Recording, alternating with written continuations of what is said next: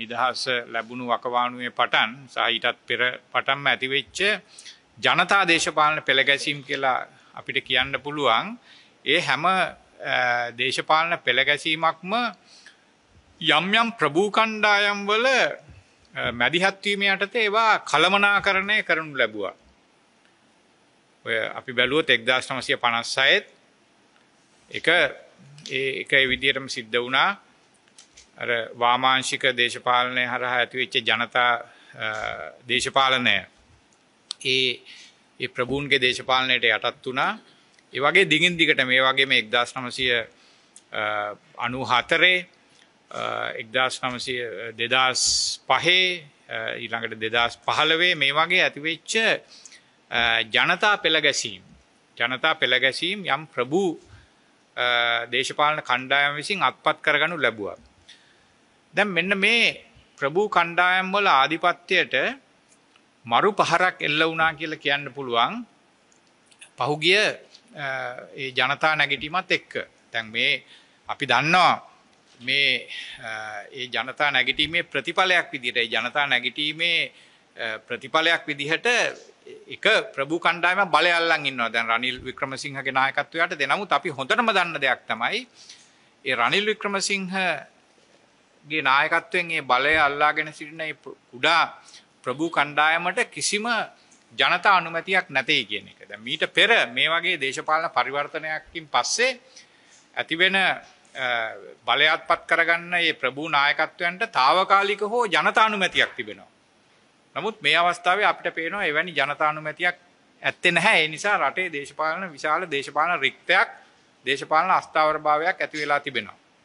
මෙන්න මේ ඇතුලේ තමයි අපි බැලුවොත් අද විශේෂයෙන්ම ග්‍රාමීය ප්‍රදේශවල ලංකාවේ තවමත් ඒ බහුතරයක් ඉන්න මේ ග්‍රාමීය මේ ප්‍රදේශ වල ජනයා මේ අතර විශාල පෙළගැසීමක් ඇති වෙලා තිබෙනවා මේ ජාතික ජනබලවේගයේ පැත්තට මේ මැතිවරණය තුල.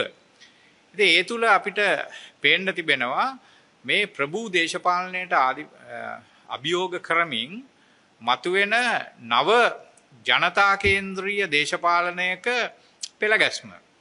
ඉතින් මං හිතන්නේ මේක මේක ඊටාම වැදගත් මේක ඇත්ත වශයෙන්ම අර අපි අපි කතා කරනවා නම් ওই සිස්ටම් චේන්ජ් කියලා මේ සිස්ටම් චේන්ජ් කියලා විවිධ විවිධ දේවල් මතු කරන්න පුළුවන්. නමුත් මේ දැනට තිබෙන දේශපාලන පද්ධතියේ වෙනසක් අපිට ඒ හරහා බලාපොරොත්තු වෙන්න පුළුවන්.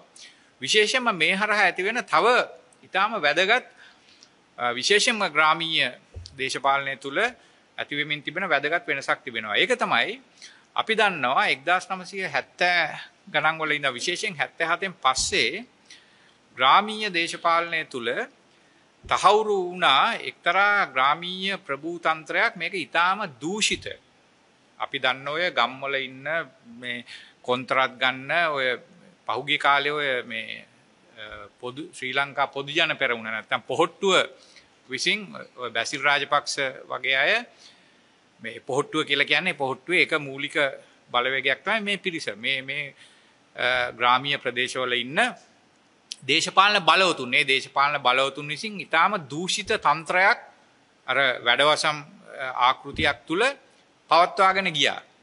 ඒගොල්ලෝ තමයි ওই විවිධ මේ මේ අල්ලස් ගැනීම ඔය පාරවල් හැදීමේ කොන්ත්‍රාත්තු හරහා ධනය අම්බ කරලා ඒවෙන් කොටසක් ඒ දේශපාලන ප්‍රභූන්ට ලැබෙනවා. ඒ හරහා හැදෙන යම්කිසි දූෂිත දේශපාලන තන්ත්‍රයක් වර්ධනය වුණා. මේ දූෂණ දේශපාලන තන්ත්‍රයට ජනතාව ඡන්දය දුන්නා වුණාට ජනතාවට විශාල කලකිරීමක් තිබුණා. මේ අය ගැන.